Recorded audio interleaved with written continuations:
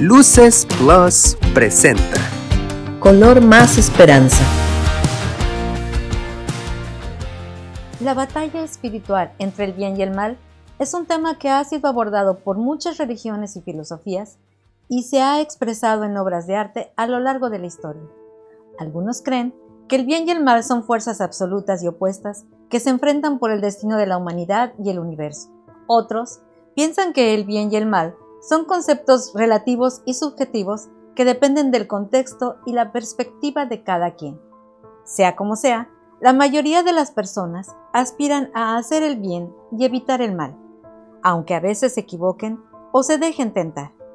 Para Santo Tomás de Aquino, uno de los más grandes filósofos y teólogos de la historia, el mal no es una sustancia o una realidad positiva, sino la privación o la falta de un bien que debería estar presente en las cosas creadas por Dios. La lucha entre el bien y el mal se da principalmente en el ámbito moral, donde el hombre debe ejercer su libertad responsablemente y seguir su conciencia recta. El bien sabe que al final la verdad y la justicia prevalecerán y que el amor es más fuerte que el odio y la maldad. ¿Quién triunfará al final? Acompáñanos en este tiempo y este espacio creado para ti donde juntos pintamos el mundo de color. Más esperanza. Luces del Siglo es un multimedio digital de noticias. Podrás leernos en cualquier lugar y a cualquier hora. Descarga nuestra aplicación móvil disponible para iOS y Android. Accesa a nuestro portal lucesdelsiglo.com. Ahora con el código QR te brindamos un fácil acceso a la mejor información y entretenimiento. Recibe las noticias oportunamente a diario hasta tu mano. Regístrate a través de WhatsApp 9982 77 1179. Luces del siglo, periodismo de verdad. Hay que cambiar. Las cosas están bien como están. ¿Cómo podemos dejar de hacer lo que no está bien para empezar a hacer lo que sí está bien? Para ello, hemos invitado a quien puede darnos respuesta. Él es el padre Juan Rivas, legionario de Cristo, sacerdote católico y escritor, productor de programas de televisión, conferencista. Haría, haría falta un buen rato para poder decir algunas cosas. Padre, bienvenido. Bueno, bastaría que decir que soy sacerdote, legionario de Cristo, creo que eso es suficiente.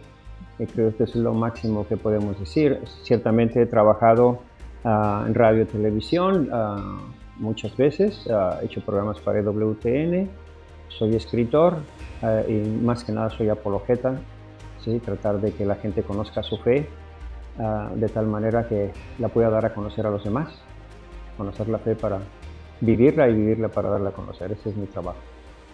La apologética es dar razones de nuestra fe. Así es. Y bueno, pues aquí tenemos un experto. Hablando del cambio, que hay que cambiar, ¿qué experiencia tiene el tema?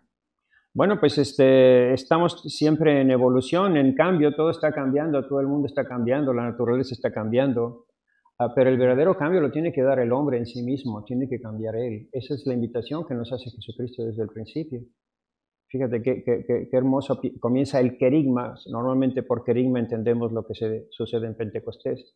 Pero el querima, es decir, el primer anuncio, lo comienza Jesucristo hablando del cambio. Y que dice, el tiempo se ha cumplido, el reino de Dios está cerca, conviértanse y crean el Evangelio. Ese es el cambio que tenemos que dar. Es decir, cambiar de dirección, cambiarnos hacia, hacia, lo, hacia lo perfecto, hacia lo mejor. La verdadera renovación está en la renovación personal. Si yo aquí lo pondría, eh, eso del cambio con, con la historia de, que iban en, las naves esas de los, donde llevan muchos esclavos ahí, en las galeras antiguas, ¿no? Y les dice el jefe, bueno, les tengo una buena noticia. Hoy por fin se van a cambiar de ropa, todos felices. Ah, ya nos vamos a cambiar de ropa, sí, qué bueno. Pedro con Juan, Juan con Antonio, Antonio con Luis. Es decir, se cambian de ropa, pero todos siguen con la misma ropa mugrosa y no cambian, no cambia, no cambia nada. O sea, yo pongo la tuya, tú te pones la mía. Ese es el peligro del cambio externo ¿sí? Por ejemplo, hoy se habla de cambio de estructuras en la iglesia, pero la iglesia va a seguir igual si no cambian las personas, porque la verdadera renovación viene del cambio personal, porque los verdaderos renovadores de la iglesia son los santos. Entonces, estamos en la misma línea que queremos ponernos en la misma línea del cambio que Jesucristo nos pide, que es la conversión. Entonces todos tenemos que convertirnos, del Papa para abajo, obispos, sacerdotes, laicos, y entonces si viene esa conversión hacia el Evangelio de nuestro Señor Jesucristo, entonces va a haber, un verdadero cambio en el mundo. Eso es lo que necesitamos, convertirnos todos, hacer ese cambio. Hoy se habla mucho, por ejemplo, ya no se habla de conversión, no se invita a la conversión. Se invita más bien al acompañamiento. Hay que acompañar a las personas, a las personas que han abortado, a las personas que están en dificultades, los alcohólicos, los que tienen problemas en su matrimonio, los acompañamos. Ah, y es correcto decir que hay que acompañarlos, es decir, tener compasión por ellos, ayudarlos, como Jesucristo va con los discípulos de Maús. Y de hecho el ejemplo que se pone es que Jesucristo acompañó a los discípulos de, de Maús. Oye, pero espérame, no, no, no termina la historia de los discípulos de Maús con acompañamiento, termina con la conversión. No es que Jesucristo se va a Maús y, y ya empezaron ellos diciendo, se nos apareció Jesucristo a nosotros y nos habló directamente, ahora vamos a formar la iglesia de Maús y Jesucristo los acompaña en la nueva iglesia. De... No, señores.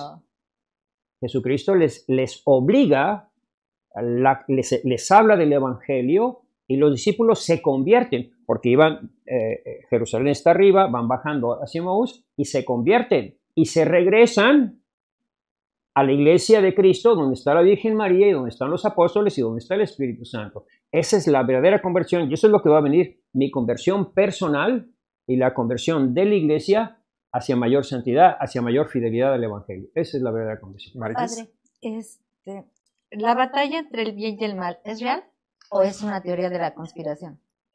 bueno, pues si vamos a la Sagrada Escritura, todos estamos desde el principio, Conspirando. estamos en una batalla. Es más, recuerden el himno, el himno de México, ¿no?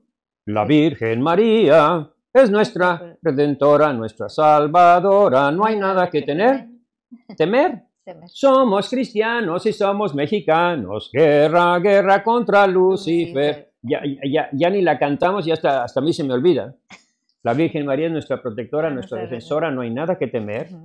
Guerra, guerra contra Lucifer, que, que, es, que es un atrevimiento porque hay que entender que Lucifer es realmente muy poderoso, no te puedes enfrentar con él así, así como así, por, si no estás armado, si no tienes la armadura de Dios, si no tienes la armadura de la, de la palabra.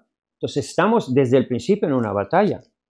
¿Sí? Y esta batalla no, fue, no comenzó en la tierra, comenzó en el cielo. Recuerden el, en el Apocalipsis se nos habla de que hubo una batalla en el cielo. Entre los ángeles y los... Entre los ángeles y los, los rebeldes. San Miguel Arcángel y los suyos. Y, Pero esa fue en el cielo, nosotros también. Pero es que esa batalla, o sea, precisamente la batalla consiste en que los demonios fueron arrojados a la tierra, ¿no? Los ángeles rebeldes no fueron arrojados al infierno, fueron arrojados a la tierra. ¿sí? Y entonces es aquí donde se está dando la batalla espiritual. Entonces es una batalla, precisamente por eso decimos, es, por lo menos en el mundo católico es clarísimo, ¿no? Iglesia triunfante, iglesia, iglesia purgante y nosotros somos la iglesia militante. ¿La iglesia triunfante dónde está? La iglesia triunfante es la que ya venció, las que ya están en el cielo, ¿no? La iglesia purgante, los que están en el purgatorio, que están en vías de purificación para entrar al cielo. Y nosotros somos la iglesia, es decir, aquí siempre es una batalla. Batalla contra, eh, hay que decir, primero es la batalla contra mí mismo. La primera batalla que yo tengo que dar es contra mis pasiones desordenadas, ¿sí? ser una persona recta, ser una persona honrada, ser una persona, a, a ser mejor hombre, ser mejor mujer. Entonces, una cosa es la autoestima y otra cosa es la batalla contra mí mismo, contra mis... Es que estamos, eh, estamos, es más o menos lo mismo, porque cuando yo, cuando yo lucho contra mis pasiones, me perfecciono, me parece, voy, voy hacia arriba, voy, voy siguiendo a Jesucristo, voy siguiendo un camino, tengo un modelo, tenemos, tenemos un modelo de lo que debemos ser. Somos una cosa, pero tenemos un modelo de lo que debemos ser, lo que debemos alcanzar. Nuestro modelo es Jesucristo, nuestro modelo es la Virgen María, nuestro modelo son los santos. Entonces, es, eh, eh, entonces, la primera batalla es contra nosotros mismos, contra la carne, contra nuestras pasiones desordenadas, contra nuestras deducciones. Por ejemplo, la primera batalla que tiene que dar un joven es poner en orden su cuarto. ¿Qué carambas va a hacer ese joven en el mundo si no puede poner en orden su casa? Es una persona desordenada. Como está tu cuarto, está tu alma. Pon, orden, pon limpieza en tu, en tu cuarto, bañate, peínate, arréglate, ¿sí? Andas todo desordenado. Tiras esos pantalones, la otra vez le dice una chica, tira esos pantalones que traes a la basura y te apuesto que ningún pordiosero los recoge. No los va a recoger ningún pordiosero. Ya están todos rotos. ¿Sí? Entonces, pon orden en tu vida. ¿Sí? Te pones disciplina. Te pones disciplina en tu mente. Empiezas a usar tu raciocinio, a pensar. A no te creas nada de lo que te enseñan los maestros, porque los maestros, te crees a Dios. La fe solo se pone en Dios, no se pone en los maestros. El maestro me tiene que probar lo que dice porque estamos en el mundo de la ciencia. Tiene que probar las cosas que dice. No, no, no, es nada de creer al maestro, se le creo a Dios, pero al maestro, a ver, pruébeme lo que usted está diciendo. Y si me lo prueba, pues entonces yo reflexiono, entonces voy, voy, voy puliendo mi mente, voy, voy teniendo capacidad de reflexión, me voy perfeccionando. Y eso también en el, en el campo de la virtud, en el campo de del respeto a las personas, en el campo de respeto a mis padres, en el campo de, respeto a las autoridades, que haya respeto, que no haya violencia, que no abusemos del débil. Y entonces empieza a haber un orden y nos, se empieza a cambiar el mundo. Si yo cambio, si el joven cambia, cambia, cambia su familia, cambia mi familia. Si cambio, cambia mi familia, cambia mi barrio. Si cambia el barrio, cambia, cambia el pueblo, la ciudad, el mundo. Pero el primer, el primer cambio que tenemos que dar, la primera batalla, es contra, contra nosotros. Las tres batallas son el demonio, el mundo y la, carne. Y, para ello, orden y disciplina. Orden y disciplina y sentido y tener, tener las ideas claras, porque si no tenemos las, a, dónde vamos, porque ahora toda la idea es, vamos a caminar todos juntos, caminemos, acompañemos, pero ¿a dónde vamos? Nos dicen que caminemos juntos, que acompañemos y que sigamos, pero ¿a quién estoy siguiendo? Porque a los que estoy siguiendo no me dicen a dónde vamos, a dónde nos llevan. Entonces vamos a ser seguidores ciegos, guías de ciegos y todos vamos a caer al abismo. Pues tenemos que saber a dónde vamos. ¿Cuál es el cambio? Ya lo dijo Jesucristo. ¿Sí? El tiempo se ha cumplido, el reino de Dios está cerca, es decir, vamos hacia el reino, hacia el reino de Cristo, hacia el reino de la paz, hacia el reino donde haya fraternidad verdadera, donde haya, donde haya respeto verdadera, donde se acabe la violencia. Eso es lo que estamos buscando el reino de Dios, donde el hombre se somete al reinado de Dios, se somete a los mandamientos, ¿sí? Y entonces esa es la batalla contra el demonio, contra el mundo y contra la carne. Muchas gracias. Gracias por su respuesta. Vamos ahora a la sección de preguntas. Tenemos aquí en color más esperanza estas tarjetas. Las tarjetas de color más esperanza, cada una contiene una pregunta. Si tengo un problema porque no traje mi teléfono y en mi teléfono tengo una inteligencia artificial, entonces le, pregunto a la, inteligencia y ella me da la respuesta. Voy a ver si le atino, ánimo, pues. A ver, a ver si me saco por lo menos. Con la reserva de que a lo mejor la inteligencia artificial puede contestar, vamos a hacer las preguntas. Usted puede elegir y nos la va a leer en voz alta. Una vez que la lea, tiene que darnos su respuesta, pero en 90 segundos. ¿Está preparado el, el reloj? Sí. Muy bien. ¿Estos son 90 segundos? No. Pues tengo como una hora aquí todavía, esto está muy lento. no, se lo voy a medir aquí. A ver, la que usted... vamos a ver. Color esperanza, vamos a ver, color esperanza. ¿Qué papel juega la libertad humana en la elección entre el bien y el mal? Pues es lo más importante, porque, porque lo que te... ¿Perdón? Ah, ya empezó su tiempo, perdón. Sí, porque te, lo, eres, eres tú el que vas a decidir, el que te pones del lado izquierdo o de la derecha, o eres cabrito o eres oveja, o estás en las tinieblas o estás en la luz. Entonces, la, libertad humana es la que decide por sí mismo ante Dios, ante, ante los problemas. ¿sí? Estoy a favor del aborto, estoy en contra del aborto, yo me defino. Entonces, la libertad me define, no solo yo soy el que elijo, y lo que yo elijo me define a mí.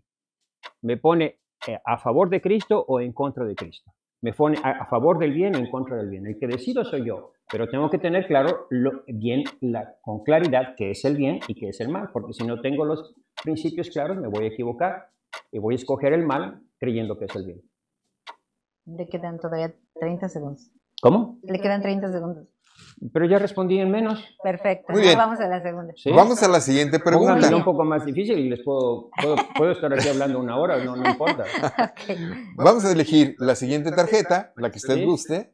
Sí, porque ¿cuántos son dos por dos? Cuatro, pero ya, ya acabé, ya se acabó la, el tiempo. No, no tengo más que decir.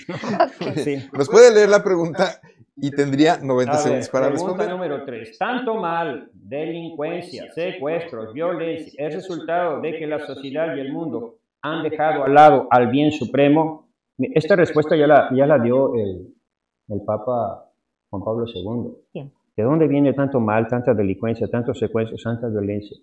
De, de la rebelión contra el mandamiento de Dios. No matarás, no robarás, no mentirás. Si le paramos a eso, se para la corrupción, se para la delincuencia. Pero mientras nosotros estemos tolerando, permitiendo o callando contra la violencia contra los más débiles e indefensos, que puede ser contra la mujer, que la toleramos, contra los niños indefensos en el seno de su madre, contra los ancianos.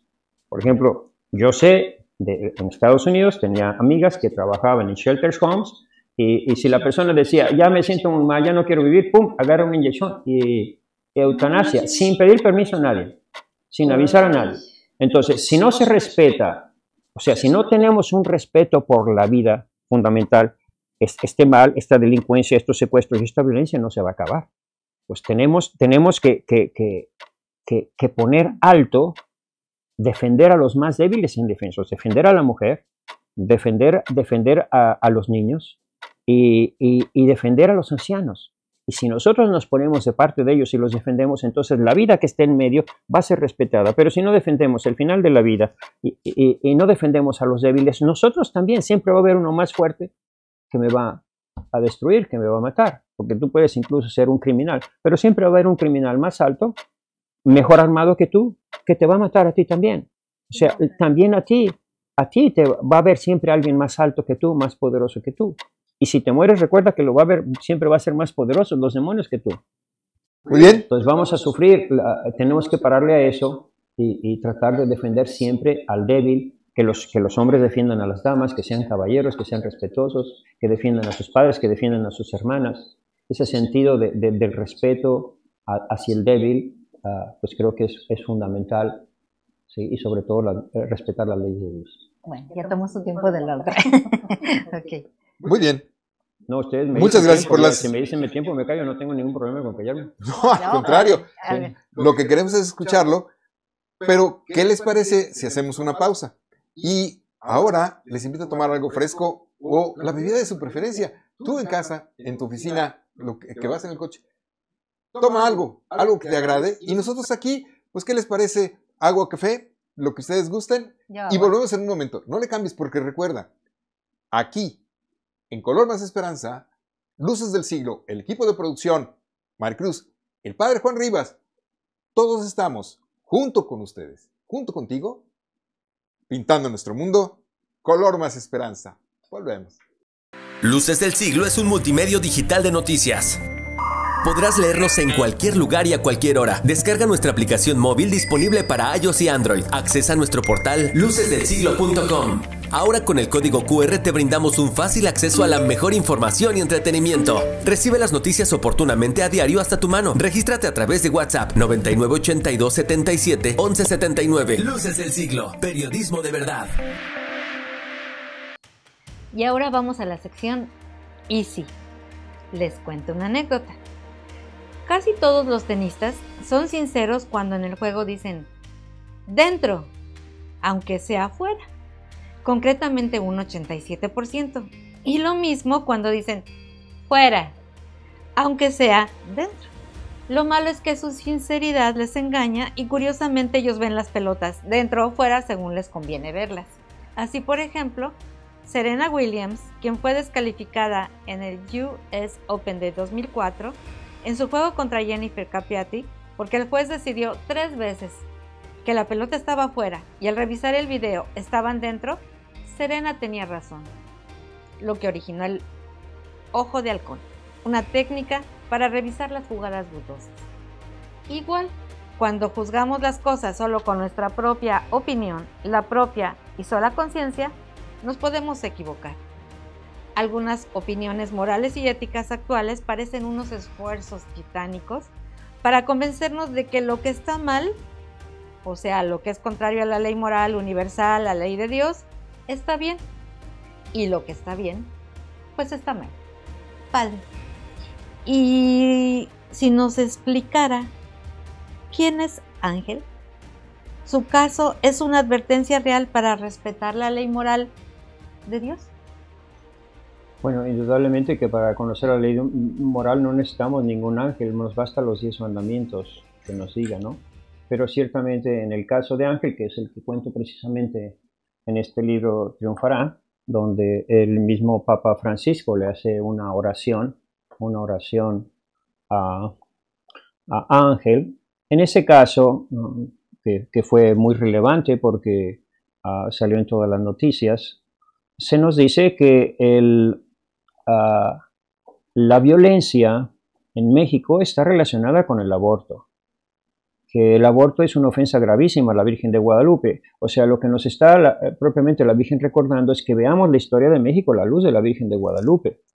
¿Y cuál es, cuál es la historia de la Virgen de Guadalupe? Pues que, que, que esto era el reino de Satanás. Y viene Cristóbal Colón, el que lleva a Cristo en la Santa María, llega a México, se da esa batalla y luego en, en 1531 se aparece la Virgen de Guadalupe y curiosamente, años, en 10 años después hubo más de 10 millones de bautizados. No ha habido tantos bautizados en ninguna historia de la iglesia más que después de las apariciones guadalupanas. Y se acaba la idolatría, se acaba el culto a la Santa Muerte, se acaban los sacrificios humanos y propiamente Satanás fue arrojado de aquí. Ese es el mensaje, que no necesitamos ningún ángel, pero esto propiamente ángel nos confirma, o fue, fue este hecho tan, tan, tan evidente, donde la Virgen pedía a los obispos que hicieran algo para detener esa ley del aborto, que se hiciera un desagravio nacional, ah, que primero se, que se reconociera que hemos pecado, porque no hay perdón ah, para el pecado si no lo reconoces. Entonces el pueblo, como en Israel, cuando el pueblo ha cometido la tría, lo primero que tiene que hacer el pueblo es, hemos ofendido a Dios, al Dios del cielo, a nuestro Creador, a nuestro Rey, a Jehová, o a Yahvé, como, como lo quieran, ofendían a su Dios, pedían perdón, y entonces el sacerdote, después de que el pueblo reconocía su pecado, ofrecía un sacrificio de expiación. Y eso es lo que la Virgen está pidiendo nada más. Que, que los obispos cumplan con su deber de ofrecer sacrificios por el pueblo, porque la ofensa ha sido gravísima a la Virgen María, ¿sí? y esto va a, si no se detiene la ley del aborto, si no se detienen los sacrificios humanos a los demonios, porque si lo entendemos a la luz de lo que sucedía en tiempos de los aztecas, todos sabemos, hasta en los libros de, escritos por comunistas o por ateos, dicen que aquí había sacrificios humanos. Ofrecían los bebés, eh, ofrecían las víctimas. ¿sí? Precisamente por eso ganaron tan fácilmente 300 españoles contra 30.000 indios, porque los otros indios, los, los mexicas, se unieron, se aliaron con ellos, porque los aztecas los tenían dominados y los hacían como esclavos y, y, ofrecían puros sacrificios humanos a, a Huitzilopochtli. Entonces, se acaba esa violencia, la Virgen María acaba con la violencia y se establece el verdadero culto al Dios por quien se vive. En los años 80 ah, viene, viene una, una revolución en México, se desata mucho la violencia, el narcotráfico, y, y, empiezan un tipo de crímenes que no, no son de México. México no es un país violento, nosotros somos pacíficos. Nosotros amamos la paz, no somos gente de guerra, no, no hemos declarado México, no declaró la guerra nunca ni a Estados Unidos ni a, nadie, ¿no? Entonces estamos pacíficos. Pero hay una violencia eh, eh, donde eh, descuartizan a las víctimas, se las tiran en bolsas negras y yo decía, pues eso, esto que está sucediendo se parece a lo que se hace con el aborto. Como si la Virgen nos estuviera diciendo, te voy a dejar ver lo que tú has permitido y estás haciendo ocultamente.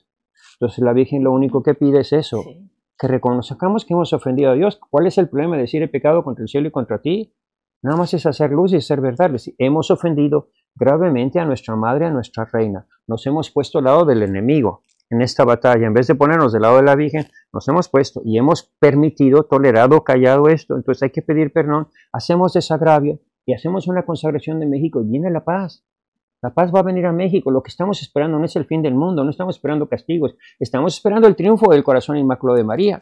Entonces, para mí es un honor que la Virgen María quiera que el triunfo de su inmaculado corazón, que supuestamente debería venir por Portugal, venga por México. Entonces, para mí es un honor que todos nosotros podamos participar. Para la nación mexicana. Si nos ponemos del lado de María, si nos ponemos del lado de la vida, si nos ponemos del lado del Dios por quien se vive, y expulsamos a Satanás aquí como lo expulsó la Virgen María. La primera vez lo expulsó la Virgen con la ayuda de los franciscanos, pero ahora no lo va a expulsar si nosotros no hacemos, no nos declaramos abiertamente a favor del Señor de la vida, a favor de la vida, a favor de la niñez, a favor de los inocentes y acabamos con esa violencia, por lo menos la, la que sí podemos acabar. Que, Padre?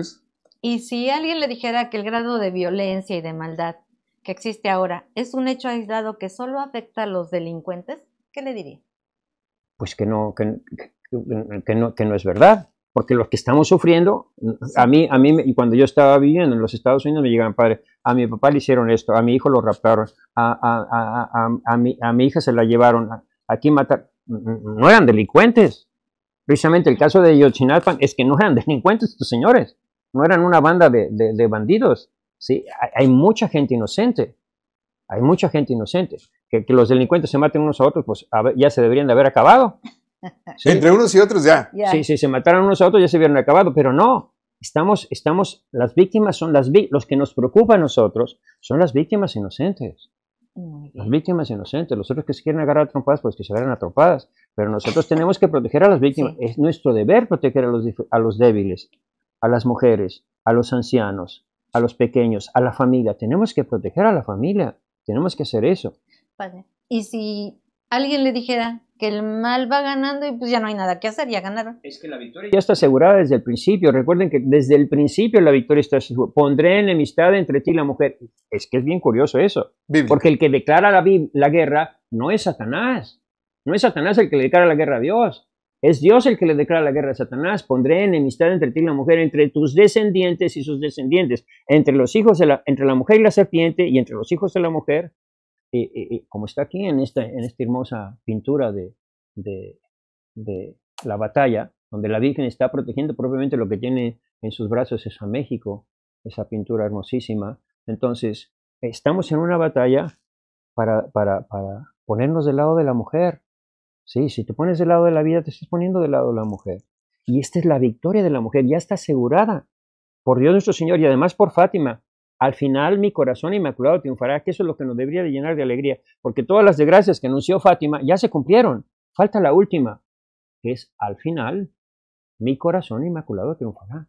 Entonces nosotros queremos, ya es como dice, ya está cerca el triunfo, únete al que va a vencer, únete a la que va a vencer, únete a la que va a, conságrate a la Virgen María. Eso es lo que tenemos que es que México se consagre a la Virgen María, pero con todos los obispos, con todos los sacerdotes, con todos los seminaristas, con todo el clero, consagrarnos a la Virgen María, ponernos de, de su lado y entonces vendrá el triunfo.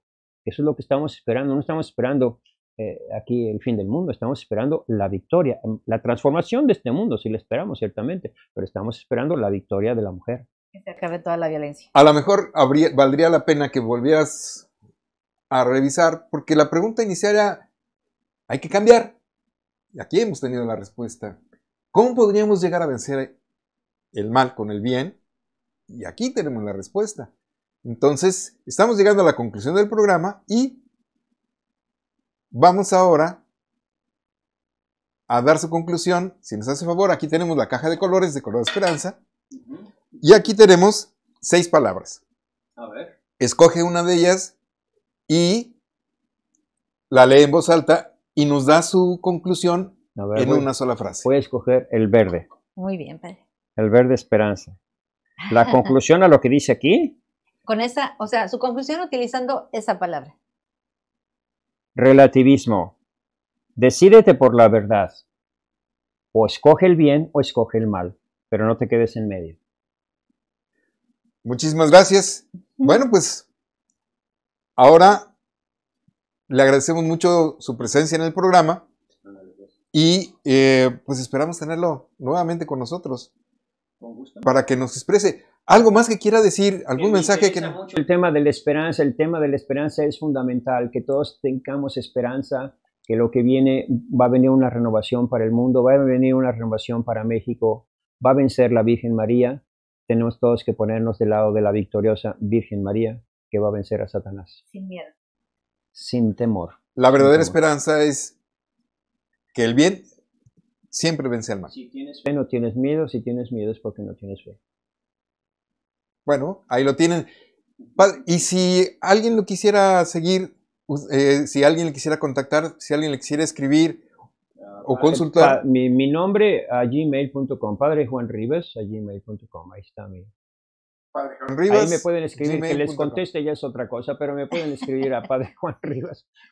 Ah, Hace rato estábamos viendo su Sí, teléfono y traía 999 mensajes solo de ayer en la noche, ahorita. Sí. Sí, de gente que no conozco. Pues sí.